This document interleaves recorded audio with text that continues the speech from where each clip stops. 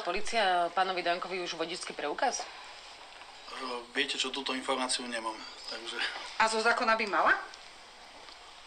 myslím, že... Uh, myslím, že...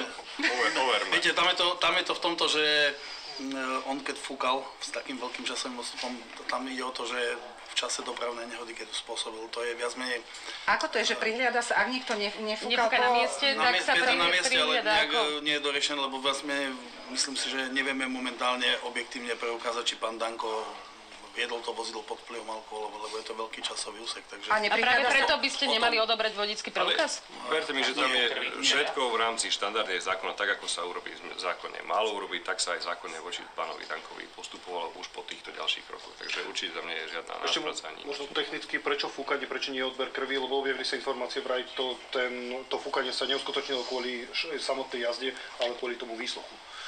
E, To vám neviem presne povedať, nebol som pri tom, nemám všetky informácie, lebo viem ešte, to je na strane vlastne kontrolných orgánov, ale to, tieto otázky určite si pripravte na to, keď sa to bude celé prezentovať.